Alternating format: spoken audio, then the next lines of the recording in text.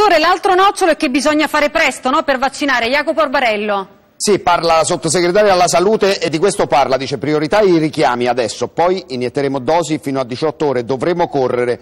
Le regioni, dice la sottosegretaria, dovranno aumentare i luoghi di vaccinazione ma anche gli orari, l'obiettivo è possibile, sono certa che il piano funzionerà, così riprenderemo la nostra vita. Questo ovviamente se non intervengono le varianti sudafricana e brasiliana.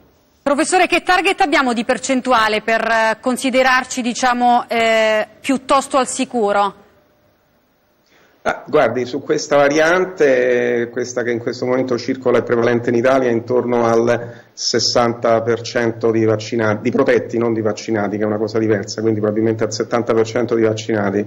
Per quanto riguarda invece la variante inglese, probabilmente tra il 75 e l'80%.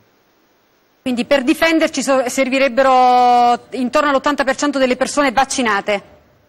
per stare tranquilli anche contro la possibile variante inglese, sì.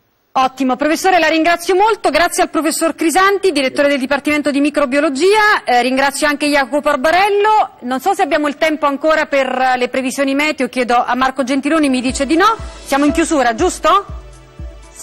Sì, no, forse, professore grazie molte, grazie, buona giornata, buon lavoro.